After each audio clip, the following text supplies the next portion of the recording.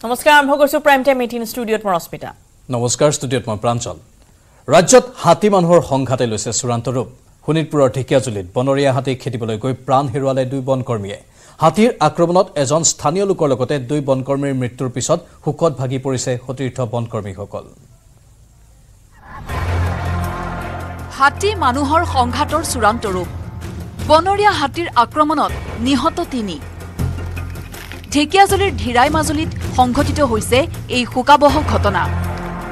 হাতী খেদিবলৈ গৈ নিহত হ'ল দুজন বনকৰ্মী আনকি বনৰীয়া হাতীয়ে প্ৰাণ কাঢ়িলে এজন গাঁওবাসীৰো।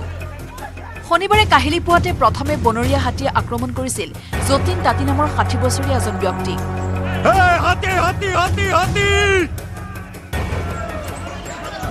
শুই উঠি প্ৰাতঃ কৰ্মলৈ ওলাই যোৱা যতীন তাঁতীক ঘৰৰ কাষতে বনৰীয়া হাতীয়ে আক্ৰমণ কৰাত কৰুণ মৃত্যুক আঁকোৱালি লয়। এই ঘটনাৰ পিছতেই হাতীটোৱে ধীৰাই মাজুলী অঞ্চলটোৰ এখন ব্যক্তিগত চাহ বাগিচাৰ মাজতেই আশ্ৰয় লৈ থকাত ৰাইজৰ মাজত আতংকৰ সৃষ্টি হৈছিল। খবৰ দিয়াত ঘটনাস্থলীত উপস্থিত হয় আৰক্ষী আৰু বন বিভাগৰ লোক। বনকৰ্মীৰ দলে হাতীটোক গাঁৱৰ মাজৰ পৰা খেদি পঠোৱাৰ চেষ্টা কৰোঁতেই বনকৰ্মীলৈ চোচা লয় হাতীটোৱে।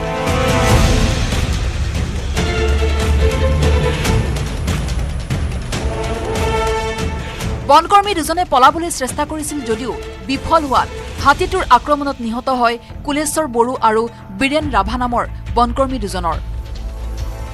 আহি আমি হেৰি কৰি থাকোঁতে হাতীটো খেদি আহিল। খেদি আহোঁতে ৰক্ষা কৰিব যাওঁতেই হাতীয়ে আমাৰ আটাইতকৈ মানে ডিভিজনৰ মানে দক্ষ বনকৰ্মী। দুজন নিহত হ'ল। এই ঘটনাৰ পিছতে শোকৰ ছাঁ পৰিছে অঞ্চলটোত। নিহত যতীন তাঁতী বনকৰ্মী কুলেশ্বৰ বড়ো আৰু বীৰেন ৰাভাৰ মৃতদেহ আৰক্ষীয়ে উদ্ধাৰ কৰি মৰণোত্তৰ পৰীক্ষাৰ বাবে তেজপুৰ চিকিৎসা মহাবিদ্যালয়লৈ প্ৰেৰণ কৰিছে। বনৰীয়া হাতীটোৰ আক্ৰমণত তিনিজনকৈ লোকৰ মৃত্যুৰ পিছতেই আতংকিত হৈ পৰিছে অঞ্চলবাসী। বৰ্তমানেও চাহ বাগিচাৰ মাজত আশ্ৰয় লৈ থকা হাতীটোক নিৰীক্ষণ কৰি আছে বনকৰ্মীৰ দলে। যিভাৱে হাতী উদ্ভণ্ডালি কৰি আছে সঁচাকৈ গাঁৱত আহ, ভয়ংকৰ পৰিস্থিতি সৃষ্টি হৈছে পৰিৱেশৰ সৃষ্টি হৈছে। গতিকে প্ৰশাসন বিভাগ অতি সোনকালে গুৰুত্ব দি এই বিষয়ত গুৰুত্ব দি পেলাই যাতে গাঁৱৰ সুৰক্ষাৰ কাৰণে যাতে হাতীটোক কিবা ব্যৱস্থা কৰি পেলাই যাতে কৰে তাৰ কাৰণে মই বিশেষভাৱে প্ৰশাসনিক বিষয়াক অতি গুৰুত্ব সহকাৰে ল'বলৈ মই অনুৰোধ জনাইছোঁ। অতি দুখৰ বিষয় যে যেতিয়ালৈকে বনাঞ্চলত অবৈধ বেদখলকাৰী উচ্ছেদ কৰিব নোৱাৰে তেতিয়ালৈকে কিন্তু এই সমস্যাটো অসমত বৃদ্ধি হৈ গৈ থাকিব। মই মাননীয় মুখ্যমন্ত্ৰী তথা বনমন্ত্ৰী তথা বন বিভাগৰ বিষয়াক অনুৰোধ কৰিম যে অতি সোনকালে সোণাৰীপা অভয়াৰণ্য তথা চাৰিদুৱা সংৰক্ষিত বনাঞ্চলত থকা বেদখলকাৰীসকলক উচ্ছেদ কৰিব লাগিব। নহ'লে অনাগত দিনত ইয়াতকৈ আৰু বেছি ভয়াৱহ পৰিস্থিতিৰ সৃষ্টি হ'ব। ঢেকীয়াজুলিৰ পৰা Haren ভূমিজৰ report news eighteen Assam north east.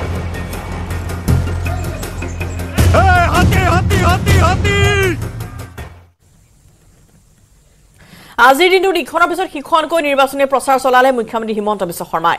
Barpeta কোকৰাঝাৰত মিত্ৰজোঁটৰ প্ৰাৰ্থী হৈ প্ৰচাৰ চলোৱাৰ বিপৰীতে পলাশবাৰীত গুৱাহাটীৰ বিজেপি প্ৰাৰ্থী বিজুলী কলিতাৰ হৈ চলালে প্ৰচাৰ অভিযান। প্ৰচাৰৰ মাজতে মুখ্যমন্ত্ৰীৰ দাবী ভোটগ্ৰহণ অনুষ্ঠিত হোৱা দহ সমষ্টিৰ ভিতৰত নটাতেই জয়ী হ'ব বিজেপি প্ৰাৰ্থী। অসমত বিজেপিৰ খাতাত নিশ্চিত এঘাৰ আসন। কিন্তু আমাৰটোতো টাৰ্গেট চৈধ্যটা চৈধ্যটা নহয় আমাৰ টাৰ্গেটটো এঘাৰ পইণ্ট হাফ সেইটোৱে আমাৰ টাৰ্গেট গতিকে আমি চৈধ্যটা চিটক লৈ আমি একদম পেনিক হৈ থাকিব নালাগে যে আমি চৈধ্যটাই পাব লাগিব। বহুত ক্ষেত্ৰত এইবাৰ নোপোৱা চিট অহাবাৰ পোৱা যায়। সেইকাৰণে ধুনীয়াকৈ আমি আগবাঢ়ি গৈ আছোঁ। দ্বিতীয় পৰ্যায়ৰ নিৰ্বাচনত বিজেপিয়ে লাভ কৰিব চাৰিখন আসন। ভোটগ্ৰহণৰ পিছতে এই দাবী মুখ্যমন্ত্ৰী হিমন্ত বিশ্ব শৰ্মাৰ। কৈছোঁ যে প্ৰথম পৰ্যায়ত পাঁচখন পাঁচখনে পাম। দ্বিতীয় পৰ্যায়ত চাৰিখন পামেই। পঞ্চমখন আসনত প্ৰতিদ্বন্দ্বিতা আছে কোন জিকিব কোন হাৰিব ক'ব টান। আনকি তৃতীয় পৰ্যায়ৰ ভোটগ্ৰহণৰ পূৰ্বেই মুখ্যমন্ত্ৰীয়ে কৰিলে ভৱিষ্যৎবাণী নিৰ্বাচন অনুষ্ঠিত হ'বলগীয়া গুৱাহাটী বৰপেটা ধুবুৰী আৰু কোকৰাঝাৰৰ ভিতৰত তিনিটা সমষ্টিতে বিজেপিয়ে আজুৰিব আসন। তিনিটা চিটৰটো আমি জিকিমেই ডিফু শিলচৰ আৰু দৰং ওদালগুৰি আমি জিকিমেই। সেইটো আমাৰ এঘাৰটাৰ ভিতৰত আছে। নগাঁও আৰু কৰিমগঞ্জৰ ভোটিং পাৰ্চেণ্টেজখিনি অহা নাই। কিন্তু আমাৰ কাৰ্যকৰ্তাসকলৰ মতে আমি দুইটা ছিটতে জিকিছোঁ। নগাঁও আৰু কৰিমগঞ্জত মাইনৰিটি ভোটৰ যিটো টাৰ্ণ বিজেপিলৈকে হৈছে ছেইম টাৰ্ণিং যদি ধুবুৰীত হয় ধুবুৰীতো আমি খুব ভাল ৰিজাল্ট কৰিম। বিৰোধীক ধ্বংস কৰি অসমত বিজেপি ৰাজ প্ৰতিষ্ঠা কৰিবলৈ অগ্ৰসৰ হৈছে শাসকীয় বিজেপি। ইতিমধ্যে দহ সমষ্টিৰ ভোটগ্ৰহণ সম্পন্ন হৈছে। বাকী থকা চাৰি সমষ্টিৰ ভোটগ্ৰহণতো যাতে কোনো প্ৰকাৰৰ সুৰুঙা ৰৈ নাযায় তাৰ বাবে সকলো প্ৰকাৰৰ যত্নৰ ত্ৰুটি ৰখা নাই বিজেপিয়ে। অন্তিম পৰ্যায়ৰ নিৰ্বাচনী প্ৰচাৰৰ বাবে সোমবাৰে গুৱাহাটীলৈ আহিব কেন্দ্ৰীয় মন্ত্ৰী অমিত শ্বাহ। ঊনত্ৰিছ এপ্ৰিলত গুৱাহাটীত বিশাল ৰোড শ্বত অংশগ্ৰহণ কৰিব অমিত শ্বাহে। গুৱাহাটী সমষ্টিৰ প্ৰাৰ্থী বিজুলী কলিতা মেধিৰ হৈ চলাব প্ৰচাৰ। চাইকেল ফেক্টৰীৰ পৰা লাল গণেশলৈ দুই কিলোমিটাৰলৈ ৰোড শ্বত অংশ ল'ব কেন্দ্ৰীয় মন্ত্ৰীগৰাকীয়ে খুব ভাল ৰোড শ্ব' হ'ব মেচিভ ৰোড শ্ব' হ'ব। আৰু এই কথাখিনি আজি মই গুৱাহাটী পৌৰ নিগমৰ কাউন্সিলৰ বিধায়ক আৰু আমাৰ মণ্ডল সভাপতি জিলা সভাপতি সকলোৰে লগত বহি আলোচনা কৰিলোঁ। যাতে ঊনত্ৰিছ তাৰিখৰ ৰোড শ্ব'টো ভালো হয় শান্তিপূৰ্ণও হয় আৰু গুৱাহাটীত যাতে বিশেষ কোনো ট্ৰেফিক কনজেশ্যনো নহয় তাৰ কাৰণে আমি বহি পেলাই আলোচনা কৰিলোঁ ইতিমধ্যে প্ৰস্তুতি আৰম্ভ কৰিছে ৰাজ্যিক বিজেপিয়ে। কেন্দ্ৰীয় গৃহমন্ত্ৰীৰ আগমনক লৈ ৰাজ্যিক বিজেপিৰ কাৰ্যালয়ত শুকুৰবাৰে নিশা অনুষ্ঠিত হয় মুখ্যমন্ত্ৰীৰ বৈঠক। Bureau' report news eighteen Assam north east.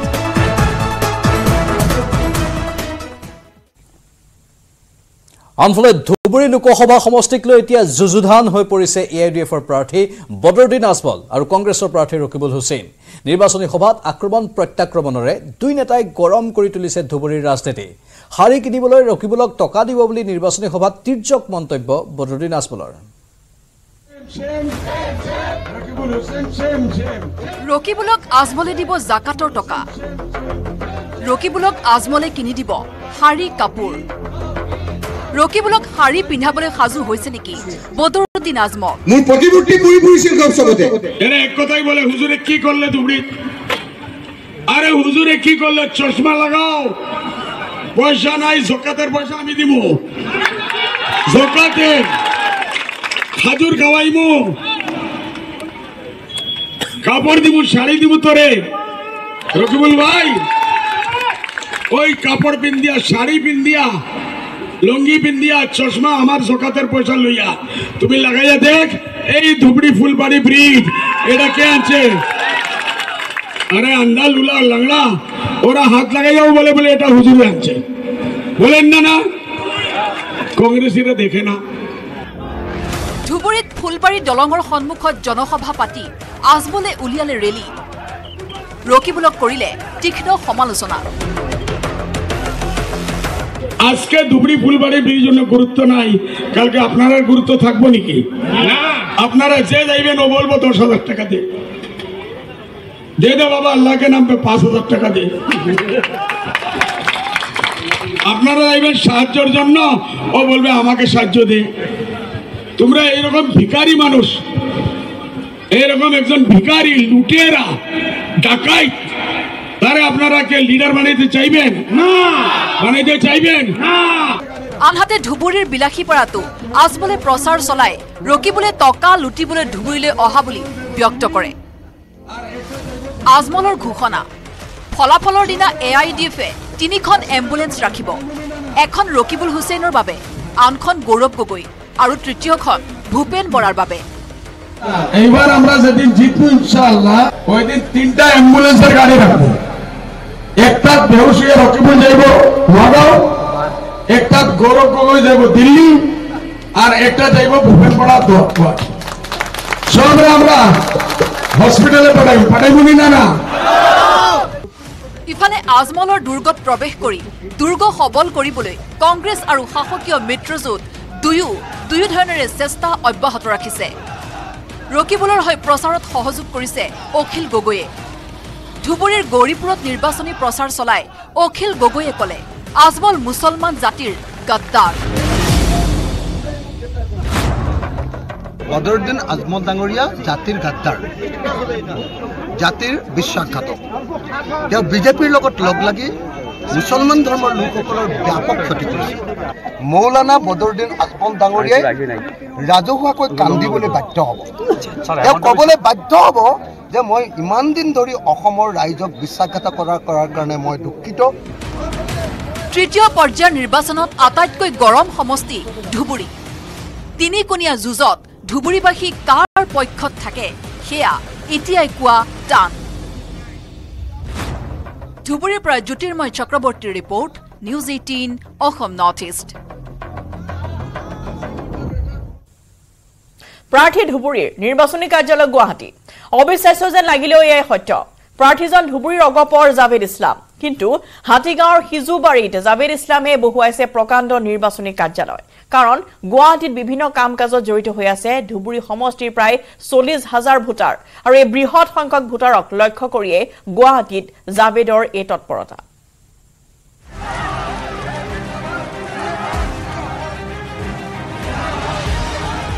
ধুবুৰীত তিনিকোণীয়া যুঁজৰ আখৰা। সাত মেৰ নিৰ্বাচনৰ বাবে ধুবুৰীত এতিয়া প্ৰবল গতিত চলিছে নিৰ্বাচনী প্ৰচাৰ অভিযান। আমাৰ দলৰ কেণ্ডিডেট। সন্মানীয় জাভেদ ইছলাম ডাঙৰীয়া ধুবুৰী লোকসভা সমষ্টি ৰকিবুল আজমলৰ যুঁজৰ মাজতে মূৰ দাঙি উঠিছে মিত্ৰজোঁটৰ প্ৰাৰ্থী জাভেদ ইছলামে। মিত্ৰজোঁটৰ সভা সমিতিত দিনক দিনে বৃদ্ধি পাইছে সংখ্যালঘু জনতাৰ উপস্থিতি। য'ত য'ত মিত্ৰজোঁটৰ প্ৰভাৱ নাছিল তাতো এতিয়া অগপ প্ৰাৰ্থীলৈ দেখা গৈছে জনতাৰ সমৰ্থন। এই সঁহাৰিয়ে স্বাভাৱিকতে উৎসাহিত কৰি তুলিছে অগপ প্ৰাৰ্থী জাভেদ ইছলামক।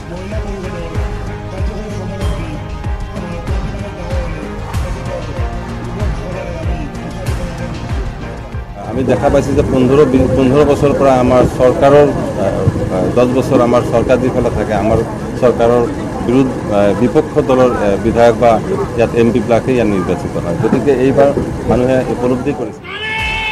আজমলৰ বিৰোধী লহৰ আৰু ৰকিবুলৰ ৰাজনৈতিক কালিমাৰ ইতিহাসে অগপলৈ ভোট পৰিৱৰ্তন কৰাৰ সম্ভাৱনা দেখিছে অগপৰ নেতাকৰ্মীয়েও। মানুহৰ স্বাভিমানত আঘাত লাগিছে।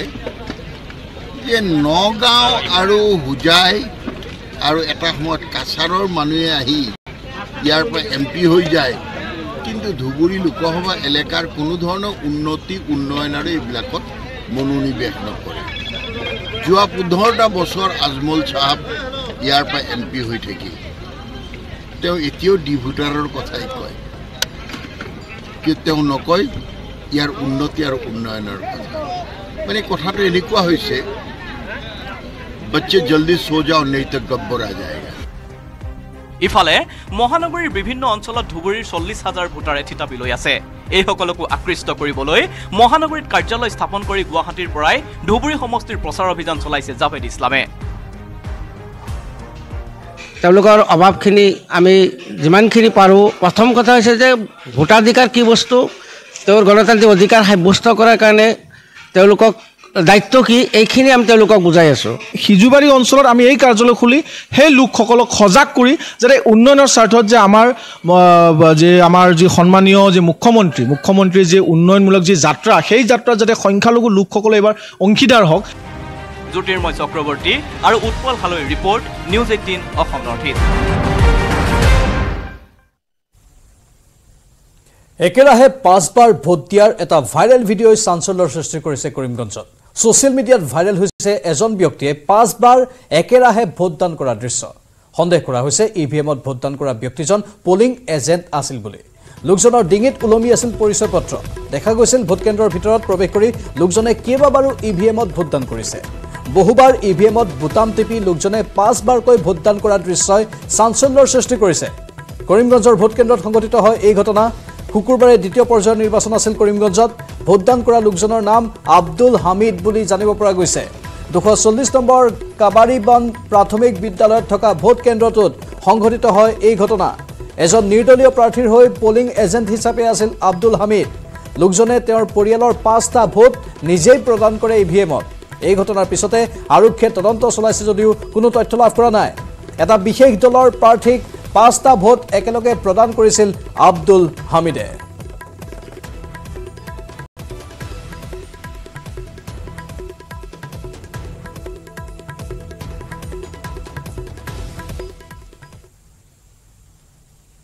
নিজ দলৰ প্ৰাৰ্থী থকাৰ পিছতো বৰপেটা সমষ্টিত চি পি এমৰ প্ৰাৰ্থী মনোৰঞ্জন তালুকদাৰৰ হৈ প্ৰচাৰ চলালে কংগ্ৰেছৰ নিলম্বিত বিধায়ক শ্বেৰমান আলীয়ে। উল্লেখযোগ্য যে প্ৰথম আৰু দ্বিতীয় পৰ্যায়ত কোনো প্ৰচাৰ অভিযানতে অংশগ্ৰহণ কৰা নাছিল এই কেইগৰাকী বিতৰ্কিত বিধায়কে। মনোৰঞ্জন তালুকদাৰৰ হৈ প্ৰচাৰ চলোৱাৰ পিছত শ্বেৰমান আলীক লৈ নেতৃত্বই কি প্ৰতিক্ৰিয়া ব্যক্ত কৰে সেয়াহে লক্ষণীয় হ'ব। বৰপেটাত কংগ্ৰেছে চিটটো বিজেপিৰ ওচৰত বিক্ৰী কৰিছে। বিধায়ক শ্বেৰমান আলী এতিয়া কাৰ পক্ষত? হিমন্ত বিশ্ব শৰ্মাই কয় মিয়াকতো মই অপমান কৰিমেই। কংগ্ৰেছৰ পৰা নিলম্বিত বিধায়ক শ্বেৰমানে কাক দিছে সমৰ্থন? কাৰ হৈ চলাইছে প্ৰচাৰ? বিতৰ্কিত আচৰণ বিতৰ্কিত মন্তব্যৰে ৰাজ্যৰ বিভিন্ন স্তৰত নিন্দিত হোৱা বিধায়ক শ্বেৰমান আলীক কংগ্ৰেছেও কৰিছিল বৰখাস্ত। মিয়াৰ হৈ ওকালতি কৰা সেই শ্বেৰমান আলীকে তৎপৰ দেখা গৈছে লোকসভা নিৰ্বাচনৰ প্ৰচাৰ সমাৱেশত। পিছে কাৰ হৈ শ্বেৰমানে চলাইছে নিৰ্বাচনী প্ৰচাৰ? অৱশেষত কংগ্ৰেছৰ নিলম্বিত বিধায়ক শ্বেৰমান আলী আহমেদে বৰপেটাত কংগ্ৰেছ প্ৰাৰ্থী দীপ বায়নৰ বিৰুদ্ধে থিয় দিয়াৰ লগতে নামি পৰিছে চি পি আই এমৰ প্ৰাৰ্থী মনোৰঞ্জন তালুকদাৰৰ নিৰ্বাচনী প্ৰচাৰত। মনোৰঞ্জন তালুকদাৰ তিনি বছৰ বিধায়ক হিচাপে পাইছোঁ এছেম্বলিত আমাৰ বহুতো নাইণ্টি পাৰ্চেণ্ট মিয়াতকৈ মিয়া এম এল এতকৈ তেওঁ অত্যন্ত সাৱলীল বলিষ্ঠভাৱে চৰৰ মানুহ মিয়াৰ মানুহ সমগ্ৰ অসমৰ কাৰণে তেওঁ মাত মাতে। বৰপেটাৰ বিভিন্ন স্থানত নিৰ্বাচনী প্ৰচাৰ সভাত অংশ লৈ শ্বেৰমান আলী আহমেদে পুনৰ ব্যক্ত কৰিলে কেতবোৰ বিতৰ্কিত মন্তব্য। দিব্যায়ন্ত নিজিকে অলপ এই মিয়া বুৰ্বকবোৰৰ দুই তিনি লাখ ভোট পালে Phanibhushan final M P Sherman Ali আহমেদে ক'লে এ জি পিৰ ফণীভূষণ চৌধুৰী। ব্যক্তিগতভাৱে ভাল মানুহ বয়সীয়াল মানুহ মই সন্মানো কৰোঁ তেখেতক। পিছে ফণীভূষণ চৌধুৰীয়ে আপোনালোকৰ বাবে সদনত কি কৰিব?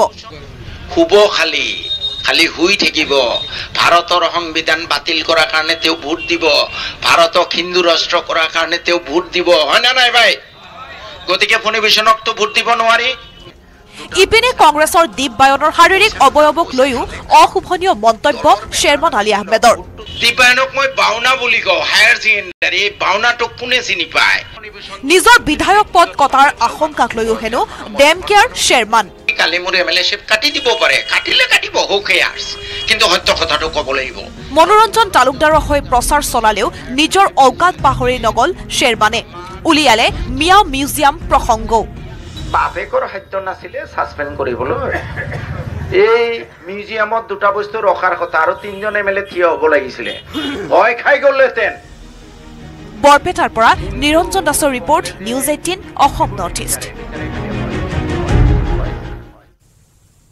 নিৰ্বাচনী বতৰত গুৱাহাটী মহানগৰীত অস্ত্ৰধাৰী যুৱকৰ সন্ত্ৰাস। পাণবজাৰত তিনি যায় সক্ৰিয় গুলীসহ চিলাপথাৰৰ দুই যুৱকক গ্ৰেপ্তাৰ কৰিছে চানমাৰী আৰক্ষীয়ে। মহানগৰীত সংঘটিত বিভিন্ন অপৰাধত দুই যুৱক জড়িত থকাৰ তথ্য লাভ কৰা আৰক্ষীয়ে অব্যাহত ৰাখিছে তদন্ত।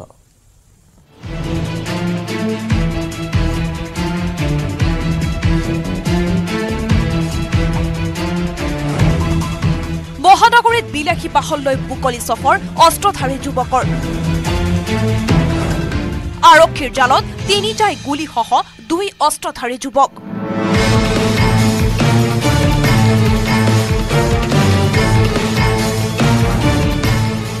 জাল নোটকে ধৰি বিভিন্ন অপৰাধজনিত ঘটনাত জড়িত দুই যুৱক। পূৰ্বেও মাৰণাস্ত্ৰসহ গ্ৰেপ্তাৰ হৈছিল অন্য দুই যুৱক। লোকসভা নিৰ্বাচনৰ তৃতীয় পৰ্যায়ৰ ভোটগ্ৰহণলৈ মাজত মাত্ৰ কেইটামান দিন বাকী। নিৰ্বাচনৰ পূৰ্বে সমগ্ৰ ৰাজ্যৰ থানাত জমা হৈছে চৈধ্য হাজাৰ নশ একৈশটা অনুজ্ঞাপত্ৰ থকা মাৰণাস্ত্ৰ। বিপৰীতে অনুজ্ঞাপত্ৰ থকা মাৰণাস্ত্ৰ আছে ওঠৰ হাজাৰ দুশ দুটা।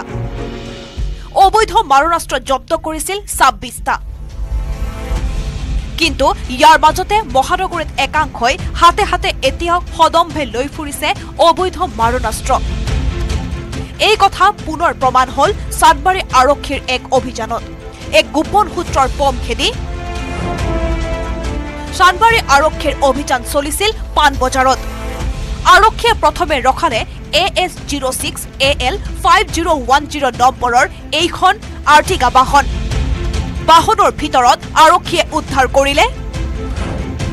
ছেভেন পইণ্ট ছিক্স ফাইভ পিষ্টলৰ তিনিটাই সজীৱ গুলী। এটা জুই শলাৰ বাকচত যুৱক দুজনে ভৰাই আনিছিল সজীৱ গুলীকেইটা। গুলীকেইটা উদ্ধাৰ হ'ল যদিও এতিয়াও উদ্ধাৰ হোৱা নাই ছেভেন পইণ্ট ছিক্স ফাইভ পিষ্টলটো। চলিত বৰ্ষৰ একৈছ মাৰ্চত চাটবাৰী আৰক্ষীয়ে মাৰণাস্ত্ৰসহ গ্ৰেপ্তাৰ কৰিছিল। অজিত গগৈ আৰু ধ্ৰুৱজ্যোতি নাথক। অজিত আৰু ধ্ৰুৱজ্যোতিৰ স্বীকাৰোক্তিৰ ভিত্তিতে শনিবাৰে এই দুই যুৱকক গ্ৰেপ্তাৰ কৰে চাটমাৰী আৰক্ষীয়ে। আৰক্ষীৰ মতে ধৃত দেৱজিৎ আৰু অজয় পূৰ্বেও জাল সৰবৰাহৰ গোচৰত গ্ৰেপ্তাৰ হৈছিল তেজপুৰত। জেলৰ পৰা ওলাইয়ে পুনৰ অপৰাধজনিত ঘটনাত জড়িত হৈ পৰিছিল দুই অভিযুক্ত। দুই অভিযুক্তৰ বিৰুদ্ধে চানমাৰী আৰক্ষীয়ে দীৰ্ঘদিন ধৰি চলাই আহিছিল অভিযান। শনিবাৰে যেন সদীৰ দশা বেয়া আছিল ধৃত চিলাপথাৰৰ এই দেৱজিৎ দেউৰী আৰু অজয় বিশ্বকৰ্মাৰ। চানমাৰী আৰক্ষীৰ হাতত গুলীসহ পাণবজাৰৰ পৰা গ্ৰেপ্তাৰ হ'ল দুই অভিযুক্ত। এতিয়া পিষ্টলৰ সন্ধানত নামি পৰিছে চানমাৰী আৰক্ষী। কেৱল এই দুই যুৱকেই নহয় মহানগৰীত এতিয়াও পিট পিটাই ঘূৰি ফুৰিছে। এনে বহু লোক যিয়ে এক লাখ টকাৰ বিনিময়তে আপোনাৰ হাতত তুলি দিব পাৰে এনে মাৰণাস্ত্ৰ। গুৱাহাটীৰ পৰা Biranchi Kumar Deka report news eighteen Assam north east.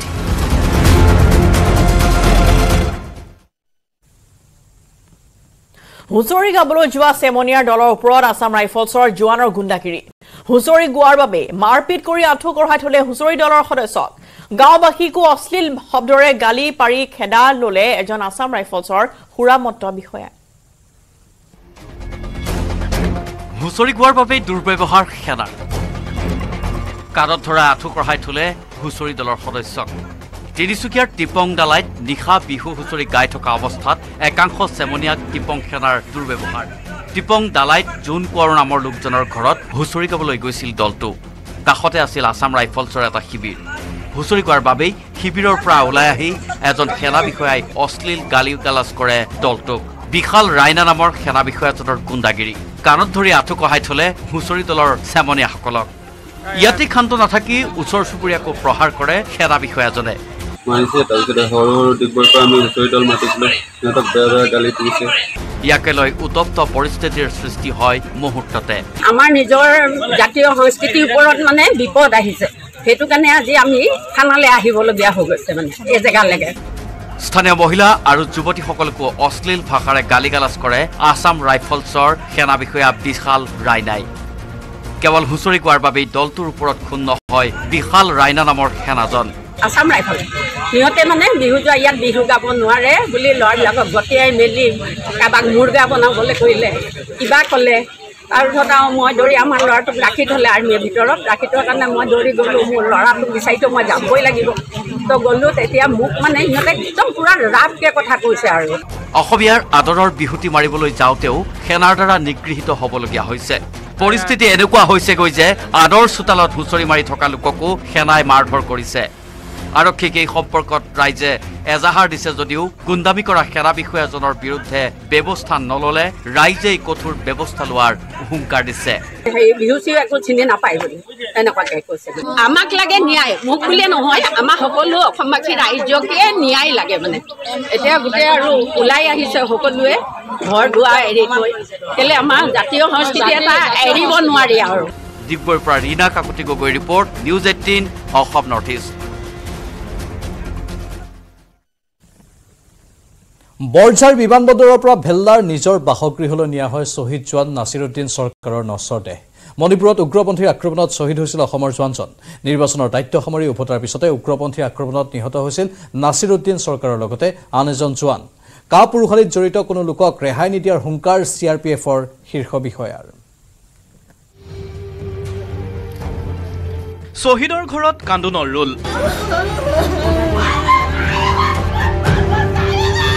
মণিপুৰত উগ্ৰপন্থীৰ কাপুৰুষালীয়ে পুনৰ কন্দুৱালে অসমৰ আন এটা পৰিয়ালক। এইবাৰ মণিপুৰৰ বিষ্ণুপুৰৰ বোমা বিস্ফোৰণত শ্বহীদ হ'ল বৰপেটাৰ চি আৰ পি এফৰ উপ পৰিদৰ্শক নাছিৰুদ্দিন চৰকাৰ। আউটাৰ মণিপুৰৰ নিৰ্বাচন শেষ হোৱাৰ দিনাই বিষ্ণুপুৰৰ চি আৰ পি এফ আউটপোষ্টত উগ্ৰপন্থীৰ বোমা বিস্ফোৰণ। পুৱতি নিশাৰ বিস্ফোৰণে প্ৰাণ কাঢ়ি নিলে চি আৰ পি এফৰ উপ পৰিদৰ্শক নাছিৰুদ্দিন চৰকাৰৰ লগতে জোৱান অৰূপ চাইনীৰ উগ্ৰপন্থীৰ বোমাৰ আঘাতত গুৰুতৰভাৱে আহত হ'ল আন দুগৰাকী চি আৰ পি এফ জোৱান। পুৱাৰ ভাগতে গুৱাহাটীৰ কাৰ্যালয়ৰ পৰা নাছিৰুদ্দিন চৰকাৰ শ্বহীদ হোৱাৰ খবৰ পালে বৰপেটাৰ ভেল্লাত থকা দুৰ্ভগীয়া পৰিয়ালটোৱে। মই ৰাতিপুৱাই গম পাইছো মাটি হেডকোৱাৰ্টাৰ পৰা ফোন কৰিছে। একবাৰ কাটি দিছো মই বেলেগ ৰং নাম্বাৰ বুলি। নেক্সট আৰু ফোন কৰিছে পিছত ভাবলো ৰিচিভ কৰি চাওঁ ৰ। বাগাত দি আছিলো। তাৰপিছত এনেহ'লে ৰাতিপুৱা ৰাতিপুৱা আমাৰ এখেতে ফোন কৰে। পাঁচটা বজাতে ফোন কৰে মোক। উঠা নাই ল'ৰা ছোৱালী উঠা নাই এনেকৈ কয় কিন্তু আজি ফোনো কৰা নাই। মই ভাবছোঁ ডিউটি চিউটি গৈছে বোধ আহি ফোন কৰিব। তাৰপিছত আৰু মই মানুহজনক ফোন কৰিলোঁ। ৰিচিভ নকৰে। বহুতবাৰ ফোন কৰিছোঁ। এতিয়া মোৰ সন্দেহ হ'ল। সন্দেহতে মই নিজে ফোন কৰিছোঁ তেওঁলোকক দুনমাটিত। ফোন কৰাতে মই কৈছোঁ আপোনালোকে যে ফোন কৰিছে কি কাৰণত ফোন কৰিছে? মোৰ মানুহ হেৰি কিবা হৈছে নেকি মোৰ হাজবেণ্ডৰ তাৰপিছত কৈছে কি আপোনাৰ ডাঙৰ ল'ৰা আছে নেকি? বোলে আছে। মই দাউৰি আহি সিয়াক দিবা দিলোঁ। সিয়াক বাৰান্দাত যাতে সি কান্দি দিছে তেনে গম পাই গম পাই গৈছোঁ এয়ে স্নাতকোত্তীৰ্ণ পুত্ৰ কন্যাৰ লগতে পত্নীক নিথৰুৱা কৰি আঁতৰি গ'ল নাছিৰুদ্দিন চৰকাৰ। এবছৰ ধৰি মণিপুৰত চলি থকা সংঘাতত প্ৰথমবাৰৰ বাবে উগ্ৰপন্থীৰ চিকাৰ হ'ল নিৰাপত্তা বাহিনীৰ লোক। এই কাপুৰুষালীত জড়িত কোনো লোকক ৰেহাই নিদিয়াৰ হুংকাৰ চি আৰ পি এফৰ শীৰ্ষ বিষয়াৰ। মৰণোত্তৰ পৰীক্ষাৰ পাছত মণিপুৰত সৈনিক মৰ্যাদাৰে নাছিৰুদ্দিন চৰকাৰক শেষ বিদায় জনালে চি আৰ পি এফৰ বিষয়া জোৱানে। ইতিমধ্যে বিশেষ বিমানযোগে মণিপুৰৰ পৰা অসমলৈ অনা হৈছে শ্বহীদ নাছিৰুদ্দিন চৰকাৰৰ নশ্বৰ দেহ। নিশাৰ ভাগত বৰপেটাৰ ভেল্লাত শ্বহীদৰ শেষকৃত্য সম্পন্ন কৰিব পৰিয়াল আৰু প্ৰতিবেশীয়ে। নাছিৰুদ্দিন চৰকাৰ যিটো মণিপুৰত এই গুলীদৰ্শন হৈ শ্বহীদ হ'ল তেওঁ আজি আমি এই খবৰটো পাই বৰ দুখিত। ৰাতিক লগিন যে আহি পাব ৰাতি চাৰে সাতটা আঠটা বজাত আমি যোগাযোগ কৰি আছোঁ। চাৰে আঠটা বজাত মানে আগতে আহি পাব বুলি কৈছে। নিৰ্বাচন শেষ হোৱাৰ পাছত অশান্ত জৰ্জৰ মণিপুৰত শান্তি ৰক্ষাৰ বাবে নিয়োজিত চি আৰ পি এফ বাহিনীৰ ওপৰত উগ্ৰপন্থীৰ আক্ৰমণক একেমুখে গৰিহণা দিছে শাসক বিৰোধীয়ে। বৰপেটাৰ পৰা নিৰঞ্জন দাস আৰু মণিপুৰৰ পৰা Biswajit মেইতিৰ report news eighteen Assam north east.